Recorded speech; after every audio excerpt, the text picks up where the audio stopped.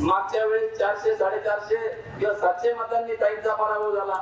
कोणी मेवणे उभे केले स्वतःच्या स्वार्थासाठी हे वेगळे सांगायची गरज नाही. म्हणजे यांच्या मेवण्यांना दोन जागा आपण दिल्या ज्यांनी आपल्याला पाडलं. आपण कधीच संकुचित राजकारण केलं नाही. व्यापक दृष्टिकोन ठेवून आपण राजकारण केलं की समाज हितासाठी आपण काम केलं पाहिजे. माझ्या विरोधात उमेदवार उभे करायचा प्रयत्न केला. तरी पण जनता जनार्दन ही बरोबर असल्यामुळे तिथं आम्ही पंधरा विरोध केलं की आम्हाला नगरवरून फोन आला. आता कोणाचा फोन आला हे काही वेगळं सांगायची तुम्हाला आवश्यकता नाही. परंतु असो अशा पद्धतीने गळचेपी धोरण आपलं सातत्याने घेतलं जात आहे. उपस्थित असलेले कोपरगाव राहता तालुक्यातील सर्व ग्रामपंचायतचे सदस्य सरपंच विविध पदाधिकारी सोसायटीचे सदस्य यांच्या सगळ्यांचं मी सर्वप्रथम या ठिकाणी स्वागत करतो. की अतिशय आज लग्न असल्या कारणास्तव अनेक अडचणी असताना देखील नुसतं एका मेसेजच्या माध्यमातून आवाहन केल्यावर अन्याय होत असलेल्या लोकांनी या ठिकाणी उपस्थित राहो. म्हणून मोठ्या संख्येने आपण सगळेजण उपस्थित राहिले. त्याबद्दल मी आपल्या मनापासून या ठिकाणी स्वागत करतो. कुठलेही आमिष न दाखवता स्व इच्छेने आलेली ही गर्दी आहे. ही टाळ्या वाजून यांना कळू द्या. कारण की या ठिकाणची पद्धत डोळे वाटरून काम करून घेण्याची पद्धत आहे या तालुक्याची. ती लस आपल्याकडे लागू नये. म्हणून आपण आपल्या पद्धतीने या ठिकाणी आलेलो आहे. अधिकारी आलेले का? वाड्यावरून फोन आला सध्या हरकत नाही. या ठिकाणी मित्रांनो अनेक वक्त्यांनी माझ्या आधी सगळे मुद्दे घेतलेले आहेत. बोलण्यासारखी खूप मोठी यादी आपल्या हातात आहे. ही वेळ आपल्यावर का आली? खर तर ही भूमिका काय आपण राज्य सरकारच्या विरोधात नाही. परंतु या तालुक्यातले ज्यांनी पालकत्व स्वीकारलं तीस तीस वर्ष ज्यांच्याकडे लहान दिव्याची गाडी आहे तालुक्यात नव्हे जिल्ह्यात ज्यांचं त्या ठिकाणी नेतृत्व आहे पालकमंत्री आहे जिल्ह्याचे खासदार त्यांचे आहे सगळे जिल्ह्याचे पदाधिकारी पक्षाचे त्यांच्या ताब्यात आहे. दीड दोन वर्ष झालं त्या ठिकाणी जिल्हा परिषद पंचायत समिती नगरपालिका अस्तित्वात नाही. जिल्हा परिषदेचे सीओ असतील कलेक्टर असतील एस पी असतील सगळे अधिकार ज्यांचे आदेश ऐकतात. असं सगळं केंद्रीकरण सत्तेचं ज्यांच्या भोवती झालेलं आहे त्यांनी ज्या पद्धतीने त्या ठिकाणी भूमिका घेतली पाहिजे ती न घेत असल्यामुळं आपल्यावर सातत्याने होत असल्यामुळं अन्याय होत असल्यामुळं आज आपण खरं तर ही आपल्यावर वेळ आलेली आहे. आपल्याला ज्ञात आहे आपला इतिहास मागाशी धनुभाऊंनी सांगितला की स्वर्गीय शंकररावजी कोल्हे साहेबांपासून आपण संघटनेमध्ये काम करतो. गेले अनेक वर्ष या ठिकाणी काम करतो. अनेक जण कोपरगावचा उल्लेख करत होते. परंतु मी आठवण देऊ इच्छितो की या श्रेणी नगरीचे देखील अनेक वर्ष आदरणीय स्वर्गीय शंकररावजी कोल्हे साहेब आमदार राहून राहिलेले आहेत. त्याच्यामुळं ही काय कोणाची जागिरी किंवा मक्तेदारी असं समजायचं काही कारण नाही. आणि म्हणून स्वर्गीय शंकरराव कोल्हे साहेबांनी ज्या ज्या वेळी आपल्यावर अन्याय झाला आपण जरी पक्ष कुठलाही असला तरी विषयानुरूप राजकारण करत आलेलो आहे. विषय जो असा तो हाती घ्यायचा. शेतकऱ्यांवर ज्यांचं लक्ष तोच आपला पक्ष. हे धोरण घेऊन आपण चाललेलो आहे. दिन दलित गरीब दुबळ्यांवर ज्यांचं लक्ष तोच आपला पक्ष. हे धोरण घेऊन आपण कायम चाललेलो आहे. मग स्वपक्षाच्या विरोधात देखील अनेकदा आपण आंदोलन केले. खंडकरी शेतकऱ्यांच्या विरोधात साहेबांनी आंदोलन केलं. तीन महिने जवळपास नाशिकच्या जेलमध्ये त्या ठिकाणी साहेब राहिले. त्याप्रमाणे पाक पाण्याचा प्रश्न असेल इतर कांद्याचे भाव असेल दुधाचे मेळावे असतील दुधाच्या विरुद्ध सरकारच्या विरोधात आवाज उठवणं आदरणीय दादांनी देखील अनेकदा पंचायत समितीवर असेल जिल्हा परिषदेवर असताना त्या ठिकाणी त्यांच्या पिंपरी निळवणीतील निळवंडे धरणासाठी आंदोलन असेल. त्याच्यानंतर त्यांची हृदयाची शस्त्रक्रिया इथं शिर्डी संस्थांच्या हॉस्पिटलमध्ये झाली. आजारपणा देखील लोकांचे प्रश्न सोडवण्याकरता रस्त्यावर उतरले. काही देखील आमदार झाल्या झाल्या पहिल्याच अधिवेशनामध्ये निळवंड्याचे कालवे पूर्ण व्हावे म्हणून पायऱ्यांवर सत्ताधारी पक्ष असताना देखील त्या ठिकाणी पायऱ्यांवर बसते बोर धरला. अनेकदा सभागृहामध्ये किंवा दुधाचं आंदोलन असेल वीज बिलाची होळी असेल आपल्यासमोर आपण या ठिकाणी केल्याचं बघितलेलं आहे. आणि म्हणून आपल्या इतिहास राहिलेला आहे की कधी पण आपण कोणासमोर झुकणार नाही आणि लाचारी आपल्या रक्तातच नाही ही आपली जिद्द आहे. त्या ठिकाणी जरी काही अन्याय झालेला असेल दहा बारा इलेक्शन आपण बघितले. दादांच्या वेळेस दोन अडीच हजारांनी पराभव झाला. कोणामुळे झाला वेगळे सांगायची गरज नाही. मागच्या वेळेस चारशे साडेचारशे किंवा सातशे मतांनी ताईंचा पराभव झाला. कोणी मेवणे उभे केले स्वतःच्या स्वार्थासाठी वेगळे सांगायची गरज नाही. एक मताने वर्गे कोटे साहेबांच्या एमएलसी मध्ये पराभव झाला. कोणामुळे झाला हे सांगायची गरज नाही. ज्या दूध संघाचे संस्थापक फुले साहेब होते तो दूध संघ अमूलच्या बरोबरीने ऐंशी नव्वदच्या दशकात चालत होता. तो दूध संघ कोणी अडकून घेतला आणि रसा तळाला नेला हे काय वेगळं सांगण्याची आवश्यकता नाही. जो सुस्थितीत असलेला गणेश कारखाना चालू असताना राजकीय दबाव टाकून त्या ठिकाणी संचालक मंडळावर दबाव टाकून त्यांनी त्यांच्या ताब्यात घेतला दहा पंधरा वर्ष. तो कोणी केला हे वेगळं सांगायची गरज नाही. आणि म्हणून असे तरी किती अन्याय झाले? तरी त्या ठिकाणी राजकारणाचा भाग म्हणून क्षणिक जो विषय होता आपण कायम तो सोडून दिला. अनेकदा आपण समोरचं ग्रामपंचायती विरोध सोडून दिल्या पंचायत समितीसाठी मेवण्याला जागा सोडल्या जिल्हा परिषदेच्या जागा सोडल्या. याच आशेने की कधीतरी ते सरळ वागतील. दोन पिढ्यांनी त्यांचा अनुभव घेतला मी म्हटलं नाही आता तिसरी पिढी आपण संबंध सुधारून घेऊ. शिवाजी दादा या ठिकाणी आहे. धनुभाऊंनी त्यांनीच माझी गाडी अडवली होती खर तर गणेश कारखान्याच्या वेळेस. पण त्या आधी आपल्या मार्केट कमिटीचे सभापती साहेबराव पाटील बोलले या ठिकाणी. मी त्यावेळेस देखील बोललो होतो की आपल्याला सहकारी संस्थेमध्ये आपण कोपरगाव तालुक्यामध्ये राजकारण आणत नाही शक्यतो सगळ्या बिनविरोध करण्याचा आपला मानस असतो. तशा पद्धतीने आपण मार्केट कमिटी बिनविरोध केली. पंधराशे सोसायटी सदस्यांपैकी आठशेच्या वर आपले सदस्य होते. तरी पण आपण काय पार्टी असेल नितीनरावजी अवतारे साहेब असतील किंवा परजने पार्टी असेल म्हणजे यांच्या मेहण्यांना दोन जागा आपण दिल्या ज्यांनी आपल्याला पाडलं. आपण कधीच संकुचित राजकारण केलं नाही. व्यापक दृष्टिकोन ठेवून आपण राजकारण केलं की समाज हितासाठी आपण काम केलं पाहिजे. आणि दोन जागा चाळीस सदस्य असताना देखील आपण मार्केट कमिटीत घेतलं. आणि त्याबद्दल आपण आपल्या इथं दहा गावातील कार्यकर्त्यांनी दहा टक्के मतदान असताना देखील या ठिकाणी आपले फॉर्म भरलेले होते मार्केट कमिटीमध्ये. डॉक्टर लबडे या ठिकाणी आहे. त्या ठिकाणी त्यावेळेस मी आता सुजय विखेंना फोन केला की आपण आपल्या मामांचे दोन जागा आम्ही घेतलेल्या आहेत. आपण एकाच पक्षात आहोत. आमचे देखील दोन जागा आपण त्या ठिकाणी घ्याव्यात. आमची अशी अपेक्षा आहे. तुमचे जेवढे इथं मतदान त्याचे तरी किती पटीने आमचं मतदान त्या ठिकाणी आहे. परंतु त्यांनी साकार स्पष्टपणे नकार दिला. त्यावेळेस सांगितलं की आता शक्य होणार नाही पुढे गणेश कारखाना जिल्हा परिषद पंचायत समिती सगळं आम्ही सन्मानाने तुम्हाला सहभागी करून घेऊ. मी म्हटलं दोन मिनिटं थांबा. सगळे कार्यकर्ते उपस्थित आहेत. मी स्पीकरवर टाकतो तुम्ही स्पीकरवर कार्यकर्त्यांना शब्द द्या. दादा तुम्ही होते त्या मिटिंगला स्पीकरवर टाकला. खासदारांनी सांगितलं की काहीच काळजी करू नका. गणेश कारखान्यात तुम्हाला घेतो जिल्हा परिषद घेतो पंचायत समितीत घेतो.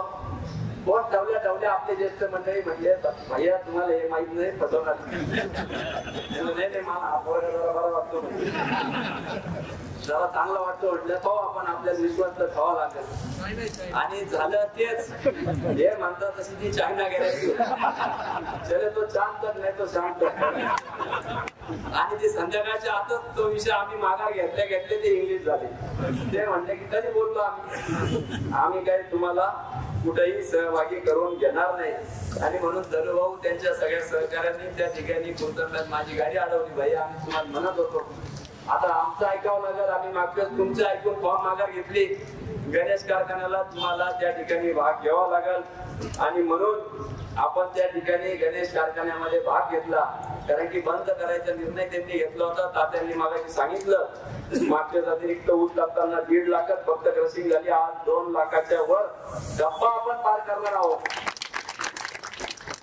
म्हणजे नगर जिल्ह्यामध्ये सर्वाधिक रिकव्हरीच्या कारखान्याची येते आहे. अशा प्राप्त परिस्थितीमध्ये आपल्याला निवडणूक झाली पेपरला त्यांनी बातमी दिली की आम्ही कुठल्याही पद्धतीचं राजकारण करणार नाही. तुम्हाला शुभेच्छा आहे तुम्ही कारखाना व्यवस्थितरित्या चालवा मी म्हटलं ठीक आहे. जनतेचा कलाचा आदर करून त्यांनी आपले मनाचा मोठेपणा दाखवला आणि लोकशाहीचा सन्मान केला. दोन दिवसांनी कारखान्यावर नोटीस आली की तुमच्या विरुद्ध हायकोर्टामध्ये केस दाखल झाली. की हा कारखाना यांच्या ताब्यात होणार आता सुदैवाने हायकोर्टामध्ये लाखोंचे वकील लावले त्यांनी पण न्यायाची बाजू आपली असल्यामुळे आपल्या बाजूने तो निकाल लागला. तेवढ्यावरच ते थांबले नाही. निकाल लागल्यावर सुप्रीम कोर्टात देखील ते गेले. मला वाटलं आता तरी सुधारतील परंतु सुप्रीम कोर्टामध्ये गेले आणि इथं बसले असतानाच मला आपल्या सुप्रीम कोर्टाच्या वकिलांचा फोन आला की तुमच्याकडून कारखाना काढून घेण्यासाठी जी याचिका होती. ती कोर्टाने त्यांना सुनावलं. आणि दोन आठवडे पुढे ढकलले ती त्यांना दिलेला नाही. म्हणजे साईबाबांच्या दरबारात न्याय आहे याचा प्रत्यय आपल्याला या ठिकाणी आला. खर तर हे सांगायचं कारण याच्यामुळं की होत असलेला अन्याय गणेश सहकारी साखर कारखाना हे एक निमित्त आहे. पण आदरणीय देवेंद्र फडणवीस साहेबांनी सांगितलं की तुम्ही जिल्हा बँकेवर भारतीय जनता पार्टीचा चेअरमन केला पाहिजे. रात्री नऊ साडे नऊच्या दरम्यान त्यावेळेस त्यांचा फोन आला होता. आणि म्हटलं साहेब ठीक आहे आम्ही सगळेजण प्रयत्न करतो. एकवीस जणांमध्ये पाचच जण भारतीय जनता पार्टीचे आहेत. रात्री तीन चार वाजेपर्यंत आम्ही सगळ्यांनी धावपळ केली. आणि त्या ठिकाणी सत्तांतर होऊन नवीन चेअरमन कर्डिले साहेब झाले. परंतु मंजूर असलेल्या गणेश कारखान्याचं कर्ज देखील आपल्याला आज सगळ्यात पैसे उचलू दिलेले नाहीये म्हणून हा त्रास तिथून खऱ्या अर्थाने सुरू झाला. आणि बघता बघता खरं तर गणेश कारखान्याच्या आधी देखील मागच्या बजेटमध्ये ज्यावेळेस शासनाने शेळी मेंढीच्या साठी आपले धनगर बांधव आहे. या सगळ्या बांधवांसाठी जवळपास दहा हजार कोटीचा निधी एनसीडीसीतून मंजूर केला. चांगली योजना शासनाने आणली. नगर जिल्ह्यामध्ये आपले धनगर बांधव मोठ्या संख्येने आहे आणि त्यामुळे आपण पन्नास संस्था आपल्या पंचकृषीमध्ये काढल्या आणि दुग्ध आणि पशुसंवर्धन मंत्री त्या असल्यामुळे त्या विभागाकडे गेल्या. परंतु दीड वर्ष झाले अजून त्या संस्थेला मान्यता त्यांनी दिलेली नाही. कुठल्याही त्रुटी त्याच्यामध्ये नाही. आणि म्हणून अशा लोकप्रतिनिधी किंवा पालकमंत्र्यांचा मी या निमित्ताने निषेध करतो. याच पद्धतीने त्यांनी त्यावेळेस करत असलेले आपल्या जे काही जिल्हा परिषदेच्या पंचायत समितीचा जो निधी असतो खर तर पंधरा वित्त आयोग प्रत्येक ग्रामपंचायतीला असतो. परंतु धनुभाऊनी सांगितलं तसं त्यांचा जो पंधरा वित्त आयोग देखील अडवला परंतु त्याच पद्धतीने पंचायत समिती जिल्हा परिषदेला देखील दहा टक्के असतो. त्याचा एकही रुपयाचा निधी आपल्या ग्रामपंचायतीत दिला नाही. रामपूरवाडीचा आमचे मित्र प्रसाद काळे या ठिकाणी आहे. हात वरती करा बाबा. यांनी त्याची चिकाटी एवढी तुमच्या सारखे किंवा सरपंच किंवा ग्रामपंचायत सदस्य आहे ते. जल जीवनच्या धनुभावनी जे सांगितलं अर्धी स्टोरी सांगितली. त्याकरता सुयोनला मी फोन केला. त्याच्यानंतर त्या ठिकाणी त्या ठिकाणी त्यांनी ताईंनी फोन केला. कलेक्टर ऑफिसला फोन केला. जल जीवनच्या सगळ्या योजनांसाठी त्या ठिकाणी फोन केला. परंतु त्याला न्याय मिळाला नाही. वारंवार तो पालकमंत्र्यांच्या मिटिंगला गेला. पालकमंत्र्यांना विनंती केली.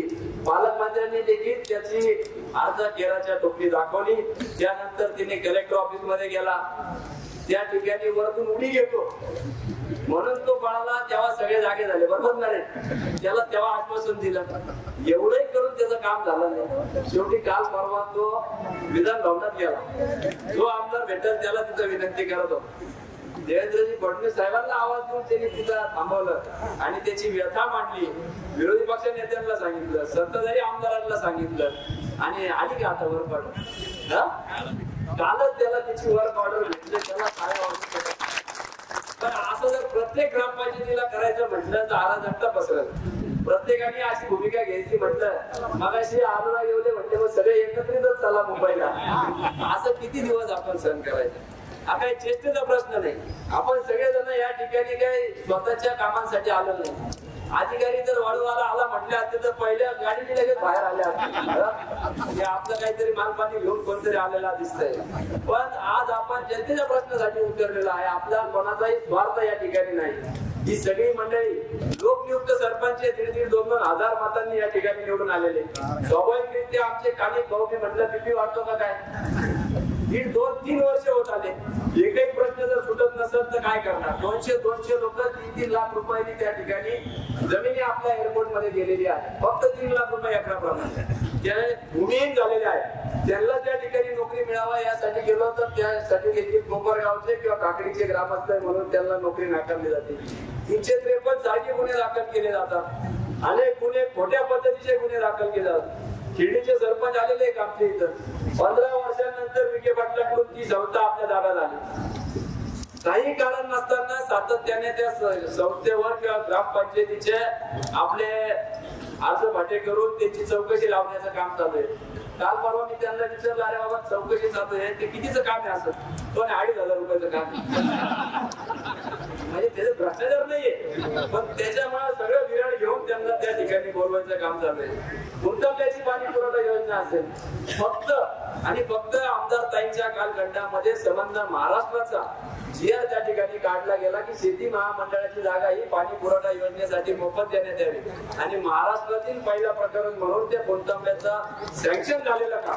यानंतर कोकमटान झालं मागून येऊन सगळे पूर्ण झाले. परंतु एक कोणतांबेकर आपल्या विरोधात जाताना मग यांची जिरवायची कशी? तर यांचं अजून ते पाणी पुरवठा योजना धनभाव पूर्ण झालेली नाही. बरोबर ना?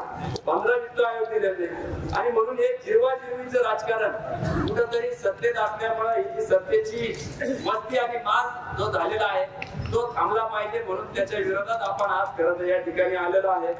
आज पहिलं आपण सामाजिक कार्य किंवा ऐंशी टक्के समाजकारण म्हणून या ठिकाणी आहे. पण त्यांचं धोरण पाहिलं तर ऐंशी टक्के राजकारण. आणि राहिलेल्या वेळेत समाजकारण करायचं. आता मला कळलं पिंपळवाडी इथे उद्घाटनाला येणार होते. परंतु आपला मोर्चा निघाला म्हणून पीएनी नारळ पडलं उद्घाटन केलं म्हणून. म्हणजे त्यांच्या ठिकाणचे विकास कामात त्यांनी करून घ्यायचे किंवा नाही. परंतु तीस तीस वर्ष ज्याच्याकडे राज्य होते. साधा बेरोजगारीचा प्रश्न देखील सोडवता आलेला. नाही. या ठिकाणी आपण दहा हजारच्या अधिक युवकांच्या सह्या घेतल्या. शेती महामंडळाच्या जमिनीचे अर्ज केले. सगळा पुरावा त्या ठिकाणी मी माझ्या व्हिडिओमध्ये टाकलेला आहे. आणि वारंवार सामंत साहेब असतील सुभाष देसाई मागच्या सरकारमध्ये असतील यांच्या मागा लागून एमआयडीसी मंजूर करून आली. आणि त्याचं देखील त्यांना पोटदुखी त्या ठिकाणी झाली. निश्चितपणाने त्यांच्या खात्याकडे तो विषय आहे त्यांनी मार्ग केला त्याच्याबद्दल आम्ही त्याचे आभार मानू. परंतु त्यानंतर तालुक्यात येऊन आभार मानायचे स्वतःचे सत्कार करून घ्यायचे. मगाशी माझ्या आधीच्या वक्त्यांनी डॉक्टर मोरेने सांगितलं की कांद्याचं निर्यात उठवली म्हणून सगळीकडे सत्कार घेतले मार्केट कमिटीचे लोक बोलवले शेतकऱ्यांना बोलवलं. आणि उठवली कुठली करणार? निर्यात. दुसऱ्या दिवशी थोडेसे भाव काय वाढले लगेच सांगितलं की नाही अजून काही निर्यात उठली नाही. मग माझं म्हणणं आहे मग जे शेतकऱ्यांनी सत्काराचे हार आणि फुले घातले मग त्यांचं काय? त्यांचा अपमान नाही का? याच्यासाठी पालकमंत्र्यांनी त्यांचं जाहीर माफी मागावी. हीच मागणी या निमित्ताने मी करतो. तुम्ही तुमचे त्या ठिकाणी सत्कार करून घेता आणि कुठलाही न्याय आमच्या शेतकरी वर्गाला दिला नाही. दुधाचे भाव चौतीस पस्तीस रुपये होते. हे व्हायच्या आधी अडोतीस होते. आता पण कितीवर आले आता. पंचवीस चोवीस. राहत्यावाले बावीसच म्हणून राहिले. इकडे अजून पण कमी आहे म्हणजे अशी परिस्थिती आज दुधाची झालेली आहे. कोण दुग्धमंत्री झाले होते कोण दुग्धमंत्री आहे आज आपल्याकडं म्हणजे आपण जर बघितलं तर आपला हक्काचा माणूस जेव्हा सरकारमध्ये जातो तर आपल्याला अपेक्षा असते की पस्तीसशे छत्तीस रुपये होतील अडतीस रुपये होईल. पस्तीसशे चोवीस रुपये झाले. अनुदानाचं काही खरं दिसत नाहीये. सगळ्या सोयाबीनचा विषय नाहीये. त्या ठिकाणी सगळ्या बाबतीत जे जे खातं यांच्याकडे दिलेलं आहे सबशेर ठेव वाळूचा लिलाव सहाशे रुपये वाळू म्हणजे काल त्यांनी पावती घेतली बावीसशे सव्वीसशे रुपये. सगळे बघत त्या ठिकाणी तेवीसशे चार रुपये. हा सव्वीसशे म्हणून राहिला. साठी सुद्धा वाळू त्या ठिकाणी उपलब्ध नाहीये. आणि मग सत्तेसाठी तुम्ही एवढे लाचार होता. आणि कुठल्याही न्याय जर आमच्या शेतकरी किंवा सर्वसामान्य लोकांना देता येत नसत आणि त्यातही तुम्हाला नुसतं राजकारण करायचं असेल तर मग आम्हाला रस्त्यावर उतरल्याशिवाय पर्याय राहत नाही. आम्ही नेहमी समाज हिताचं राजकारण केलेलं आहे. ज्या ज्या वेळेस महाराष्ट्रामध्ये महाराष्ट्राच्या बाहेर आपत्ती आली त्या ठिकाणी भूटचा भूकंप असेल किल्लारीचा भूकंप असेल कोल्हापूरचा असेल चिपळूणला मी स्वतः गेलो होतो युवकांना घेऊन. त्या ठिकाणी मदतीचा हात आपण वेळोवेळी घेऊन गेलेला आहे. म्हणजे आपण कधीही राजकारणाकडे राजकारण म्हणून बघत नाही. एक समाजसेवेचं माध्यम म्हणून आपण या गोष्टीकडे बघत आलेलो आहे. परंतु सातत्याने याची जी काय विश्वास ठेवून देखील फसवण्याची वृत्ती आहे किंवा अन्याय करायची जी वृत्ती आहे त्यामुळेच आपल्याला हा खर तर या ठिकाणी आपण रस्त्यावर उतरलेलो आहे. खर तर बोलण्यासारखे इतके मुद्दे की माझ्या हातात आता कागद जमाना. म्हणजे मी औद्योगिक वसाहतीचा चेअरमन आहे. म्हणून त्या ठिकाणी प्रशासक लावलं. प्रशासक लावून एकच एकोणीसशे बासष्टपासून एकदाही त्या निवडणुकी संस्थे निवडणूक झाली नाही. परंतु जाणून बुजून यावेळेस संस्थेची निवडणूक घडून आणली. माझ्या विरोधात उमेदवार उभे करायचा प्रयत्न प्रयत्न केला. तरी पण जनता जनार्दन ही बरोबर असल्यामुळे तिथं आम्ही पंधरा विरोध केलं आणि पुन्हा तिथं देखील त्यांना वोट टाकले आणि म्हणून सातत्याने माझं म्हणणं आहे की त्यांनी याचा विचार केला पाहिजे. श्री गणेश सहकारी साखर कारखान्यामध्ये लोकांनी त्यांचा घरी बसवलं. शिर्डी संस्थांची क्रेडिट सोसायटीमध्ये त्यांना घरी बसवलं. कुंटंबा असल वाकडी असल या सगळ्या ठिकाणी चितळी असल अनेक ग्रामपंचायती राहत्या तालुक्यामध्ये सत्तांतरहून आपल्या विचारांचे लोक आलेले आहेत. परंतु जितू बाबा मागाशी म्हटल्याप्रमाणे दलित वस्ती निधी सोळा कोटीचा पंचवर्षिक आराखडा त्या ठिकाणी सादर केलेला आहे. बरोबर निवडून निवडून आपल्या ग्रामपंचायतीतील लोकांना त्या ठिकाणी दलित वस्ती निधी दिलेला नाही. तांडा वस्तीच्या निधीसाठी त्यांची शिफारस लागली. पालकमंत्र्यांनी एकही शिफारस पत्र आपल्या ग्रामपंचायतीचं दिलेलं नाही. त्याच पदाने शंकर बाप्पा असेल ज्या सुवेदेच्या गावची त्या ठिकाणी स्मशानभूमीला जायला रस्ता नाही. आणि या ठिकाणी जर झोपलेल्या प्रशासकीय अधिकारी त्यांच्या सांगण्यावरून जर अन्याय करत असाल तर पुढच्या वेळेस त्यांना आम्हाला अंतिम संस्कार करायला तुमच्या प्रणांगणात यावं लागेल. एवढंच या निमित्ताने मी सांगतो एखाद्या जर व्यक्तीचा तिथं हे झाला तर. कारण की तीन वर्ष झाले ती मंडळी सातत्याने सांगते कुठलाही तुझा भाऊ आदरणीय काही वेळेस आमदार होत्या. केला नाही. उलट त्या गावामध्ये ज्यावेळेस सत्ता विरोधकांची होती जवळपास दीड दोन कोटीचा निधी त्यांनी दिला. अरे एवढंच नव्हे तर आमदाराच्या घरासमोरचा निधी त्यांनी त्यांच्या काळात केला. आमदारांच्या गावातली स्मशानभूमी आपण केली. बस स्टँड आपण दिलं. एक नळ तर दोन दोन सभागृह आमदाराच्या गावामध्ये आपण दिले. तर आपण मनाचा मोठेपणा दाखवून निस्वार्थपणे त्या ठिकाणी काम करत असतो. परंतु गेल्या दोन तीन वर्षापासून इथं दलितांवर अन्याय होतोय आदिवासींवर अन्याय होतोय धनगर समाजावर अन्याय होतोय. लोकप्रतिनिधी म्हणून आपल्या आमदारांची जबाबदारी होती की आपल्या तालुक्याच्या गोरगरीब जनतेसाठी तिथं आवाज उठवणं किंवा बोलणं. परंतु त्यांची गॅरंटी शेजारच्यांनी घेतलेली असल्यामुळे आपल्या तालुक्याच्या लोकांचं वाटोळ झालं. तरी चालेल. परंतु मी यांच्या पायाशी पायाशी बसून लाचारी पत्करत आपल्या लग्नामध्ये ती लाचारी नाही. स्वाभिमानाने आपण उभं हे छत्रपती शिवाजी महाराजांचे आपण सगळे मावळे आहोत. फक्त महाराजांच्या पुतळ्याला हार नाही घालू दिला. म्हणजे त्यांना असं वाटतं की आपण घाबरून जाऊ.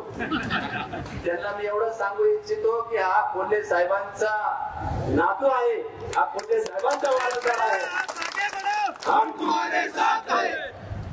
त्या ठिकाणी लौकीच्या ग्रामपंचायतीमध्ये आपण बघितलं निवडणूक निर्णय अधिकाऱ्यांनी निर्णय दिला की हे सीट अपात्र आहे यांनी व्हॅलिडिटी किंवा त्यांचा जातीचा दाखला जोडलेला नाही. अपात्रच त्या ठिकाणी डायरीला नोंद झाली. पाच वाजता प्रोसिडिंग क्लोज झाली. रात्री आठ नऊ वाजता निरोप येतो. फटाकडे वाजते त्या ठिकाणी की आपला सरपंचाच्या सीटा विरुद्धचं सीट अपात्र झालं म्हणून. आणि कालांतरानंतर कळलं त्या ठिकाणी ते सीट पात्र झालं. दोन्ही कागद फाडले गेले. त्याचे धडधडीत व्हिडिओचे पुरावे आपण दाखवले. कागद फाडतानाचे व्हिडिओ दाखवले. आणि मला अधिकाऱ्यांनी सांगितलं महसूलच्या की आम्हाला नगरवरून फोन आला. आता कोणाचा फोन आला हे काही वेगळं सांगायची तुम्हाला आवश्यकता नाही. परंतु असो अशा पद्धतीने गैरचेपी धोरण आपलं सातत्याने घेतलं जात आहे. काय काय कुठील राजकारणाचे सगळ्याच गोष्टी त्या ठिकाणी त्यांनी केलेल्या आहेत. मी सगळ्या गोष्टींवर जात नाही परंतु आज एवढंच सांगतो की आपल्या जरी आपली आज ही भूमिका असली तरी संयमाला एक मर्यादा असती. किती दिवस आपण संयम ठेवायचं? सातत्याने लोक माझ्याकडे येत राहतात. आपल्या विरोधात खोट्या तक्रारी देखील पोलीस स्टेशनमध्ये केल्या. की भविष्यामध्ये यांना कुठं जर संधी मिळाली तर यांच्यावर एफ आय आर असलं म्हणजे यांना तिथं संधी मिळणार नाही. परंतु मी प्रशासकीय अधिकाऱ्यांना देखील विनंती करतो गेल्या दीड दोन वर्षापूर्वी आम्ही आक्रोश मोर्चा काढला होता. काही मागण्या आम्ही दिल्या होत्या. आणि सातत्याने महिन्या दर महिन्याच्या पहिल्या किंवा दुसऱ्या सोमवारी आम्ही तिथं येत असतो. आमच्या मागण्या पूर्ण व्हाव्यात म्हणून. परंतु कुठल्याही परिस्थितीमध्ये मागण्या पूर्ण झालेल्या नाही. गाय गोटाचे प्रकरण मगाशी सांगितले अर्जुन कायमला दोन दोन मिळाले सुनीलराव इथं आहे ते साक्षीदार आहे पंचायत समिती त्यांनी काम केलेलं आहे. हे काय कशा पद्धतीने? प्रस्ताव देखील ग्रामपंचायतीने पाठवला नाही. त्या ठिकाणी पशुवैद्यकीय दवाखान्यातून अर्ज लागतो तो देखील नाहीये. तरी पण त्यांना दोन दोन कोटी त्या ठिकाणी मंजूर केले जातात. आणि किती दिवस असा आपण अन्याय सहन करतात आम्ही आवाज उठवणार. आम्हाला काय कोणाची गॅरंटीची गरज नाही आमची गॅरंटी राहता आणि कोपरगाव तालुक्यातले लोक घेतील एवढी मला खात्री आहे. अहंकार सोडा. रावणाची सोन्याची लंका देखील त्या ठिकाणी जळून खाक झाली होती. म्हणून आपल्या या अहंकार सोडला नाही तर आपली देखील काय परिस्थिती होईल? ही लोकच ठरवतील. नाहीतर आम्हाला पक्षाला तरी विनंती आहे की पक्ष शिस्तीची कारवाई फक्त घडे आम्हाला देऊ नका. आमचे तालुका अध्यक्षांनी सांगितले की पक्षाचं कुठलंही काम असलं त्या ठिकाणी सरळ ऍप असेल नमो ऍप असल वेगवेगळ्या याद्या असेल एक बूथ तीस दिवस असेल बूथ कमिटी असेल तत्परतेने आम्ही सगळे त्या गोष्टी या ठिकाणी करत आलेलो आहोत. परंतु आपल्या पंधरा तीन वर्षामध्ये काय पडलं तर नैराश्यात पडलेली आहे. आणि म्हणून काही दिवस आपण संयमाने पक्षाकडे ही मागणी करू नाही तर आम्हाला मोकळी द्यावी. आम्ही आमच्या पद्धतीने काय जो बंदोबस्त करायचा तो आमच्या पद्धतीने करू. आमच्यावर देखील पक्ष शिस्तीची जबरदस्ती करू नये मोकळी सोडावी. त्याच्या हातून पक्षाचे त्यांच्याहून अधिक काम आपण केले तरी आपल्याला ही वेळ जर बघावा लागली असेल तर ते दुर्दैव आहे. मी काय नेहमी म्हणत असतो की गरिबी असली का लाजावी नाही पैसे असले का माजावा नाही आणि सत्ता असली का गाजवावी नाही. आणि या ठिकाणी पैशाचा माल आणि सत्ता गाजवण्याचं काम चालू आहे. मी या निमित्ताने एवढंच सांगतो की अधिकाऱ्यांना वारंवार आम्ही आंदोलन उपोषण करणार नाही. अनेक आंदोलन निवेदन देऊन झालेले आहे. इथून पुढं आम्ही योग्य ती भूमिका घेऊ आणि वेळ पडली तर या तुमच्या मी मगाशी म्हटल्याप्रमाणे या जनता जनार्दन आहे. चंद्रकांत पाटील म्हटले या जनतेने ठरवलं तर पन्नास वर्षाची तुमची सत्ता उलटून लावल्याशिवाय राहणार नाही. आणि त्याचं नेतृत्व करायला मी क्षणाचाही विलंब लावणार नाही. एवढंच राजकीय राजकीय कुठल्याही याची पर्वा न करता ही शेवटची संधी आहे. अजूनही वेळ गेलेली नाही. परंतु याचा जर बाण सुटला तर मी या ठिकाणी जाहीरपणे सांगतो आमच्यावर जर अन्याय होत असला तर या राहत्या मतदारसंघात तळ टोकून या ठिकाणी मी काम करायला सुरुवात करेल. आणि यांचा अहंकार राज्य संपादन आहे जज्बा रोको जीतने का क्योंकि किस्मत बदलने बदले ना बदले. पर वक्त जरूर बदलता है वक्त जरूर बदलता है तो वक्त बदलने के आप